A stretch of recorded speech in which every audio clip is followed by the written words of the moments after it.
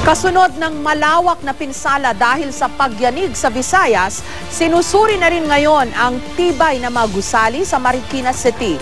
Isa kasi ito sa mga dinadaanan ng West Valley Fault.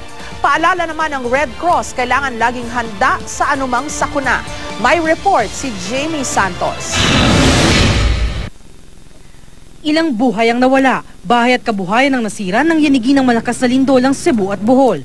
Dahil sa mga trahedyang katulad nito, kahit maliliit pa, tinuruan na ni Mang Jose ang kanyang mga anak ng mga dapat gawin sakaling lumindol. para po hindi sila matraumatize ang mga bata.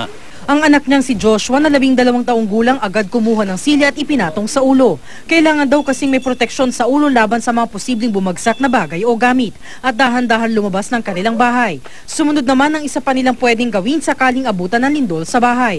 Agad nagtago ang magkakapatid sa ilalim ng lamesa habang si Mang Jose agad pumwesto sa ilalim ng hamba ng kanilang bahay. Isa daw kasi yon sa mga ligtas na lugar sa bahay sakaling may lindol. Dahil nadadaanan nga ng West Valley Fault ang Marikina City, nagsasagawa ng lokal na pamahalaan ng structure audit. Tinitingnan ng mga structural engineer kung kakayanin ng mga establishmento o maging ng mga bahay ang 7.2 magnitude na lindol o mas malakas pa. Naiikot po sa ating mga structures and magre-recommend po kung ito po ay nag-comply or can withstand the magnitude of 7.2 earthquake. Sa schools naman po, nagkakandak tayo ng regular earthquake drill. May hinanda na rin daw silang Central Field Hospital. Kaya raw nitong mag-accommodate ng 2,000 pasyente. Dito ipupwesto ang mga pasyente at ang kanilang mga mobile operating room at emergency room. Importante daw ayon sa Philippine Red Cross na alam ng taong kanilang gagawin sakaling may sakuna.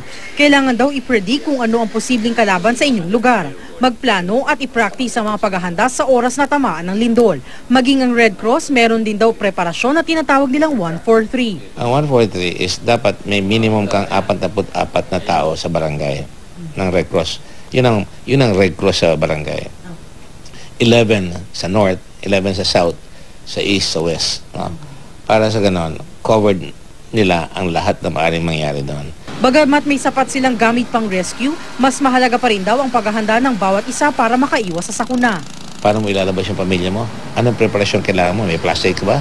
Meron kang first aid? Yung gamot mo ba nakahanda kung alis ka sa building? Aakit ka ba o bababa ka? Saan ka pupunta pag nakalabas ka? Pinapractice yun. You really have to practice, practice, practice. And even if you practice, hindi pa rin sapat yun. Walang magaling yan. Walang magaling. Pero mas mababawasan mo ang perwisyo Jamie Santos, GMA News.